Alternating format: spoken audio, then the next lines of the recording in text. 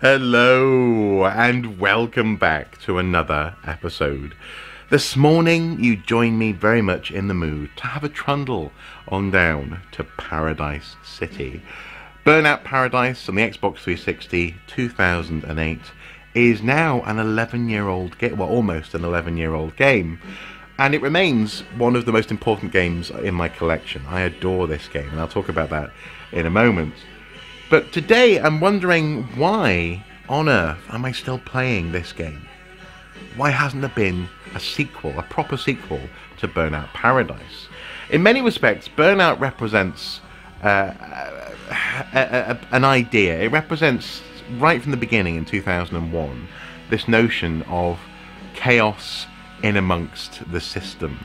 In in the first game that I remember playing back, back on my GameCube, an awful lot of people wrote about in the reviews and were talking about the fact that the, the, the modelling of the city traffic and the exquisite chaos that you could cause by driving erratically in that traffic was was full of impressive potential.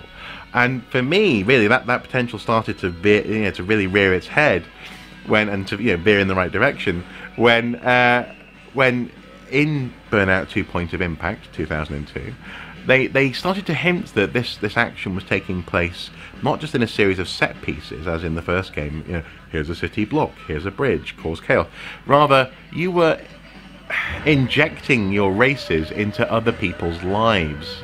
In that game, for example, one of my favourite uh, tracks in Burnout 2 is in and around an airport where there are people dropping off and picking up loved ones. You have got civilian traffic.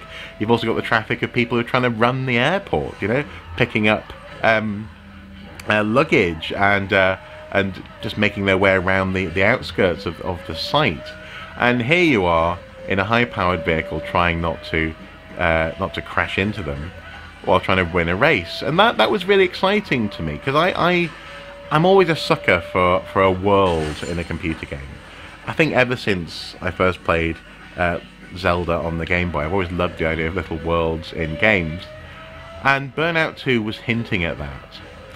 Burnout 3, Takedown, 2004 I believe, was for me a little bit of a letdown. See what I did there? It was a bit of a, a, a step backwards in so much as they really focused in on the arcadey aspects of the game, uh, racing against rivals, uh, both in the game but also on the couch, you know, your friends next you, was exciting and, the, and it was fun to to take your, your, your rivals down and to engage in those glorious crashes and to see particle effects yet again just yeah, flying across the screen, the car coming apart at the seams, as it were. But they they in in that game and then in 2005 and 2007 there was Dominator and uh, no sorry 2005 was um, Burnout uh, Legends I think and then Dominator. Those games continued that, that trend of focusing in on racing um, and the arcade fun of, of racing and the aspects of being with your mates and having a laugh. But they, they kind of walked away from, stepped away from somewhat the, uh, the feeling that you were in a world. They were much more linear, much more track based, if you see what I mean. Um, and that just didn't interest me. And not only that, but also I was I was doing a degree at that point in my life, studying archaeology. So I um I wasn't tempted away from my degree to play those games. However, in 2008, Burnout came back into my life with the announcement of Burnout Paradise. And this was a very particular and special time for this game to come back into into uh, into my life, or this franchise rather, this gaming franchise. Uh, in 2008, I had just moved to York, and I was a little bit, I was feeling a little bit lost in the world. I was trying to find a job and all that sort of stuff. And Burnout Paradise, along with uh, Gears of War, are the two games that really got me through those days when I was settling into the city. I could come home from my work. I didn't have to spend a load of money going out to the pub and, you know, out and about in the cities trying to find conversation. Instead, I, I fell back in love with regularly playing computer games and uh, and this game fed me a lot. It, I, I, genuinely enjoyed it. It's, it sustained me, partly because of the the action. You know, it's uh, blistering pace, and you've got to sort of concentrate if you don't want to crash too often. Uh, but also as well because of that open world aspect. Aspect, uh, Burnout Paradise takes place in a city, Paradise City, and this map. Uh, I actually remember seeing before the game came out a version of this map as a poster in I think Games Master magazine. Maybe. I might be wrong, uh, but this this map uh, intrigued me because it's huge for a start, but also every single junction is an event, a race, a challenge, uh, a, an event where uh, where maybe the, the NPCs in the game are, are there to try and take you out, and you got to try you got to last uh, from A to B, and A and B in these contexts are always another junction. You're not you're not going down a dead end. You are, I suppose, in that grand tradition of hot rods in um, you know American graffiti kind of style in the 50s uh, teenagers just mucking about in cars. That's what you're doing. You're turning up at an event and you're beginning. Uh, you're beginning a, a, a, crazy course through what feels like a, an actual breathing city, and that, for me, was the was the fulfillment of this promise that was first hinted at in the original Burnout game. So it only took them seven years to get there, from 2001 to 2008.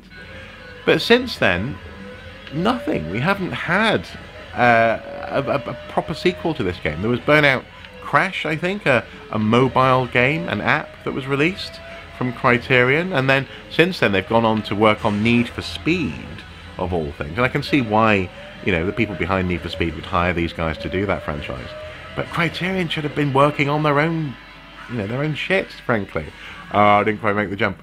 Um, instead, instead of instead of helping Need for Speed keep on limping along, in my humble opinion, um, in terms of its, uh, yeah, just, just another title. You know, Burnout Paradise was a great platform to really launch from, and since then, I mean, I think last year, roughly a year ago, actually, I think March last year, they released uh, sort of a HD remix, sort of remaster update version. It's basically the same game, but with uh, higher resolution and greater frame rate uh, for the P- PS4 and Xbox One. And I was tempted to get it when I got my PS4, but at the same time, I don't really want to support it. I don't want to support just rehashing a game that already looks gorgeous. I mean, this game looks perfectly passable on the Xbox 360 to this day. I want them to make the follow up, and they simply haven't, and I don't quite understand why. Uh, I suppose you could say that maybe maybe the the the the the, um, the the audience isn't there. Maybe this this type of game isn't as popular as it once was.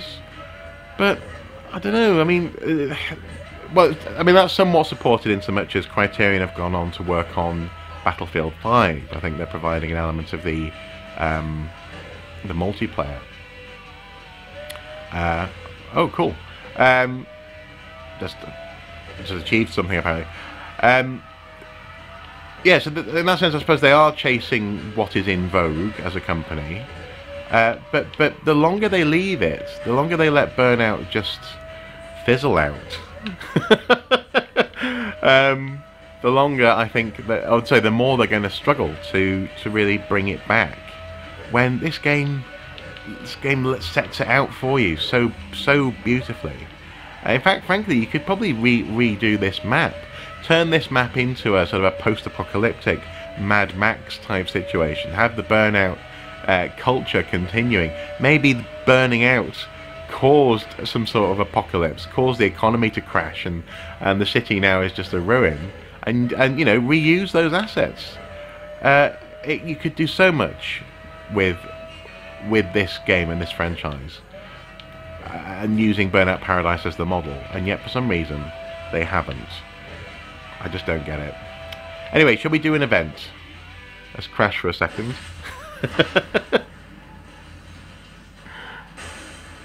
so, let's do an event. We're approaching a junction here where I haven't completed this particular event, a road rage. To start, all you need to do is hold the brake and the accelerator at the same time, the two trigger buttons. And this is going to be a takedown road rage type scenario. So 18 cars I've got to try and take down in two minutes. Let's see how this goes, shall we? It's been a while. Yes, there we go. You see, and you've got all the glory of the of the, the like I say, the particle effects. The that chaos is still very much part of the game, but it's all happening and all started at a junction in a city. This, for me, is the essence of the character of Burnout, and it's the reason I keep on coming back to this game. Uh, I can only hope that Criterion see the error of their ways, and at some point, whether it, you know, whether through I don't know a campaign or uh, just through maybe it, it, becoming more financially viable that they're able to make an, a follow up to Burnout Paradise.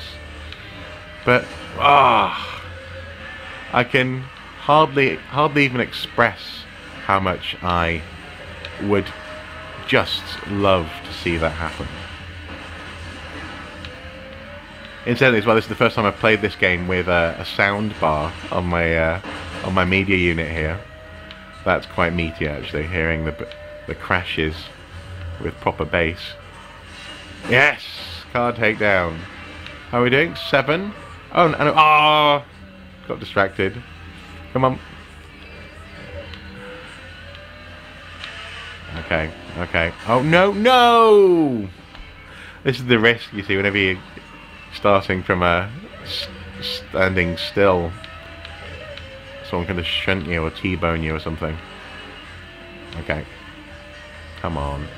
Now, as ever, also in Burnout, you build up your boost by driving the wrong way down roads, by having near near misses with other cars, and then you get to expend it at a time of your choosing by pressing, in this case, the uh, the A button on the Xbox. Ah! um, the other thing about about this game as well that I always enjoyed was the um, well things like, for example, first of all, because this is a real world that you're in, or you know, an open world that you're in, you can try and get to a garage and fix yourself. So let's try and do that. Uh, but also, all, all, all around, you see build. Bil ah! It's because I'm trying to talk and play at the same time. Um, all around as well, you'll see uh, billboards, such as the, these, which I have broken all of them in the city. Uh, but they, they are, um, in and of themselves, a little challenge built into the environment. Which is, again, it's, it's a feature of an open world game that uh, uh, the, the, the, the standard Burnout racing titles just didn't have. yeah, there's just so many reasons that they, that they should do a follow-up to this. But, um, but primarily because it's fun, to be honest. Now, one thing that I would like to see in a sequel, in a follow-up, would be a feature that was in the original Burnout, I think, and less so Burnout 2. I might be wrong with that. Maybe it was in Burnout 2 as well. But basically, basically at junctions, when you cause chaos and crashes, you used to get a monetary value assigned to the damage that you caused. And I think that might have been in Takedown as well, possibly Burnout 3. In Burnout Paradise, you don't seem to really get that. You get, uh, let's see, on your driver's license, uh, distance travelled, 2,810.1 miles. And then other things like your time played, percentage complete, yeah, different things you've achieved in the game, but you don't get a monetary value for the violence and damage that you've caused. Although I am an elite driver, that's at least something that you get in this game. Um, I would like to see that because I mean it used to be really quite fun in Burnout to try and cause as much monetary damage as possible to go. Oh wow, you know, two two and a half million, and then in, in comes a bus or something and a truck that gives you a multiplier and doubles the damage or something. I, it, something like that would, would be fun.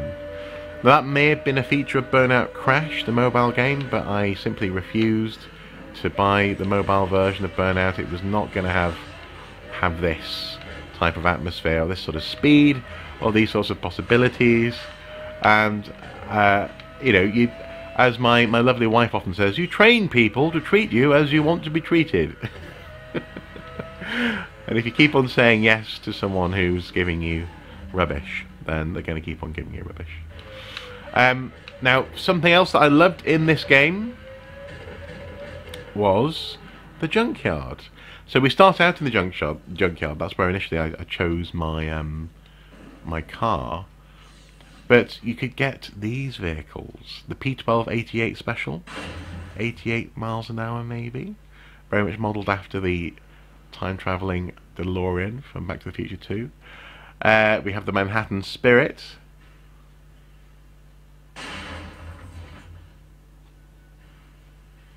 You ain't afraid no ghosts, maybe? We have the uh, GT Nighthawk, which is essentially Knight Rider. This is a very cool car uh, to drive. And then the Cavalry Bootlegger, which I think is oh the Bandit, isn't it? Isn't it? I forgot what it's called now. Put it on screen. But this is also a fun car to drive. Uh, I though want to want just want to quickly to show you this one because the uh, the DeLorean is not only well, sorry, the not DeLorean is not only fun to drive, but it's also fun to boost with, and well, there's one other feature. So off we go. Now, in uh, obviously Back to the Future, when you get up to 88 miles an hour, you can travel through time, and you leave behind you tracks of fire on the ground. How cool is that to see in this car? it's a shame the tracks don't stay on the ground for a little bit longer, but that's nice to see. I think that's really cool. Uh, this car, though, has one more feature. This is the specifically the, the DeLorean, or modelled after the, the DeLorean from Back to the Future 2. And I say that because this one, when you click the right hand, the left hand stick, it goes into hover mode, which is really nice. Now, unfortunately, the hover is only really a hover that's acting just above the ground. It's not actually flying as the, the DeLorean in Back to the Future 2 does. So if you go off a big jump, you will, the car behaves in the same way that it would if it was on the ground. So really you are simply hovering around. You can't suddenly find yourself flying at great heights. But this is fun, you know, it's pretty cool. Uh, click the stick again and you go out of hover mode. I also love the way that they have the camera struggle to keep focus on you as you're crashing. It's like someone's actually trying to follow you with their uh, ah with their TV camera or something. It's cool. Um, this was a feature that they brought in in DLC, along with uh, actually a whole island for the for the game. Off to the east here, there's a this this ah this island which I believe has its own license. Um, no, no, no. There we go. Big Surf Island info. So I'm only 33% complete on Big Surf Island. Uh, but all of this is, is precisely what kept me entertained all those years ago in York. And in that sense, I'm, I'm happy to, to, to, to concede that maybe I have very much rose-tinted glasses when it comes to this game. Maybe there simply isn't a market anymore for this type of open world chaos bringing racing title uh, and maybe I should just be grateful that I can keep on playing Paradise City in its in its uh, glorious Xbox 360 form but it just feels so much like uh, like a like a great starting point for something else to come next it feels like like they could really build on on the what they've learned from the. Oh, there you go, fire tracks on the ground. That's pretty cool. So they do stay there for a little bit. Ah, where are you?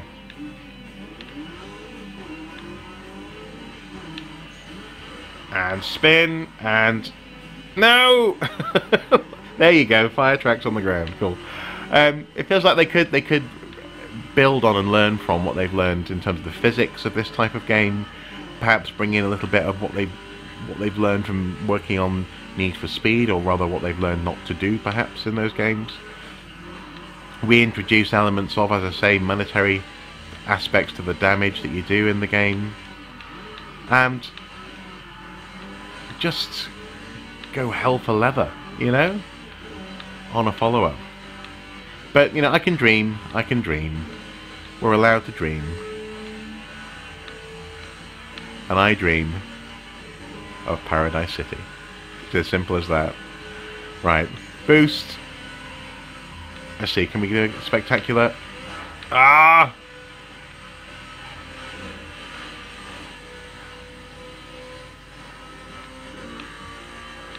At times it almost feels like you're playing F-Zero, doesn't it? Yes! Oh, that could have been better. Drive away? Come on. There we go. That's more like it. Thank you guys for watching. Hopefully you've enjoyed this little this little stream of consciousness about one of my favorite computer games. But also if you if you agree, if you also are missing or are uh, yearning for uh, an, an addition, a little bit extra from Criterion in the world of Burnout, you know, let, comment below. What, what would you what would you put into the follow up to Burnout? Would you um, would you add flight, for example? I mean, they added bikes and uh, motor but beach buggies in the the uh, Surf Island DLC to this game. Would flight be an interesting one? Just imagine being able to fly a, uh, a you know, like a Harrier or something through a motorway tunnel. That would be cool so much potential. We can only hope that uh, that one day Burnout takes the next step. As ever, guys, until next time, do take care. Hang on. Bye bye. yes. I could just crash cars all day, I really could.